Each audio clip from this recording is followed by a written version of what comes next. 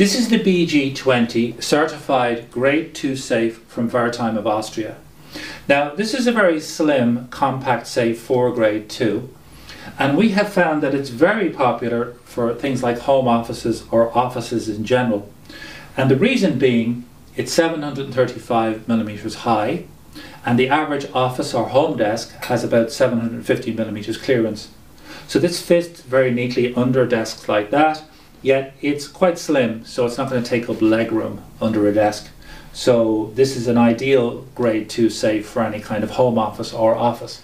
Now to give you all of the dimensions, as I said, 735 millimeters high, 450 wide, and 442 deep. So it's deep enough to take things like laptops and box files and things like that.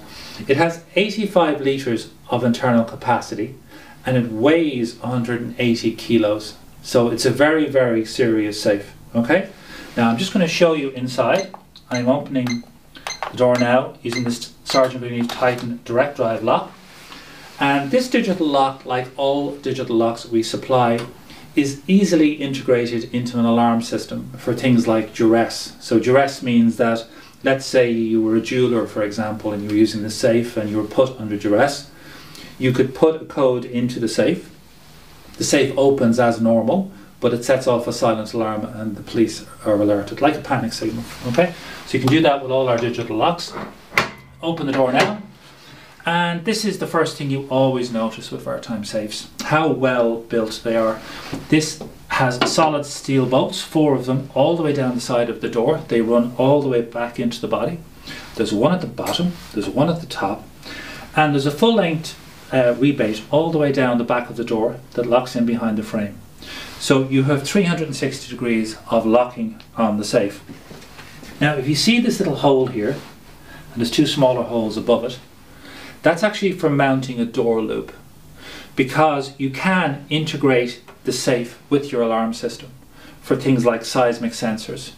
So what happens is you hook up the door loop there, it goes back in the safe, goes down an alarm cable track and out the back of the safe. You never use wireless when you're integrating safes with alarm. Um, the seismic sensors I mentioned what they will do is they will monitor any type of physical attack on the safe. Even if you left your um, alarm switched off, they'll still trigger an alarm if anyone attacks the safe with any type of tool. So it's a way to future-proof the safe. Maybe your uh, insurance company isn't requesting that now, but down the line they might, and you're ready to go. Um, just looking at the certification here, we can see it's certified by VDS, who are an accredited certification body and ECBS, also a accredited certification body, both based in Germany.